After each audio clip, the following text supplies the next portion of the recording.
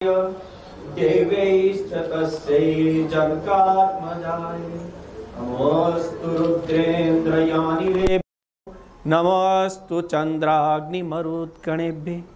संत गणों के चरणों में साक्षात प्रणाम करते हुए, विद्वानों को नमन करते हुए और श्रोतागण जो मेरे से ज्येष्ठ हैं, उनको प्रणाम करते हुए मैं अपना विषय रखना चाह रहा हूँ। कथा प्रसंगों के मामले में जहाँ हम देखते हैं तो प्रथम कथाकार जो हुए वो भगवान अपनारे हनुमान जी महाराज हुए, जिन्होंने माँ सीता को कथा सुनाई। और माँ सीता की शक्ति से संपन्न भगवान श्री राम जी, जिनके अनुग्रह से ही ये श्री संप्रदाय चला। तो माता सीता मूल श्री संप्रदाय की संस्थापिका है और वही संप्रदाय रामानंद संप्रदाय है। इसी को रामायण तन संप्रदाय भी कहते हैं। और इस संप्रदाय ने जब रामानंदाचार्य जी उत्पन्न हुए, उस परिस्थिति को देखिए, एक तरफ़ चंगेज खां का आक्रमण हो रहा था। बहुत भीषण अत्याचार हो रहे थे हिंदू समाज पे। दूसरी तरफ़ मोहम्मद गयासुद्दीन तुगलक ने अत्याचारों की पराकाष्ठा कर रखी थी। जहाँ मंदिर था, मंदिर तोड़ दिया जा रहा था।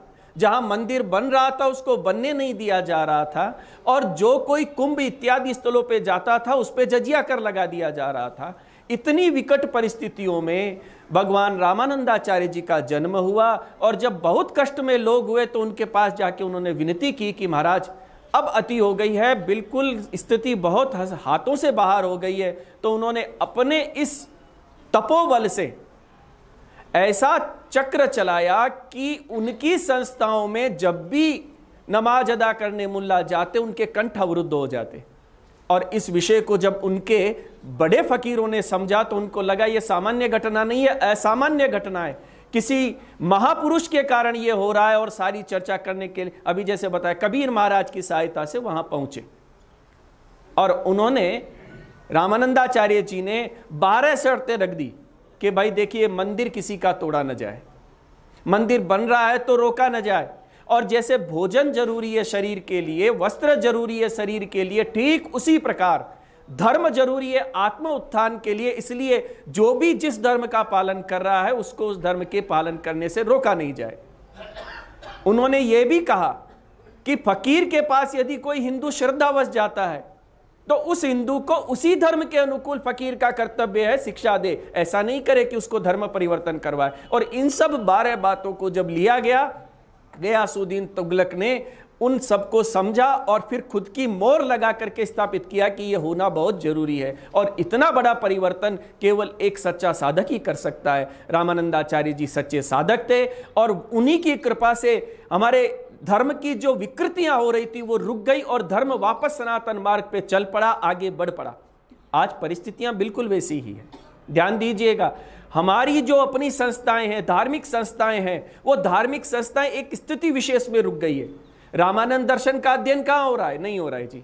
बहुत पूरे भारतवर्ष में एक दो जगह हो रहा होगा। तो जिस दर्शन ने बिखरते भारत को जोड़ दिया, समाज में, उनके बारह बारह शिष्य थे। बारह शिष्य में पाँच ब्राह्मण थे। फिर रेदास हुए, फिर पिपाजी हुए, फिर नाभाजी हुए और इतने पे ही नहीं रुके। सुरसरी जी और पद्मावती जी, ये भी उनकी शिष्याएँ हुई। तो सारे समाज को जिन्होंने एकत्रित कर दिया, उनके दर्शन का कोई अध्ययन, अध्यापन नहीं है।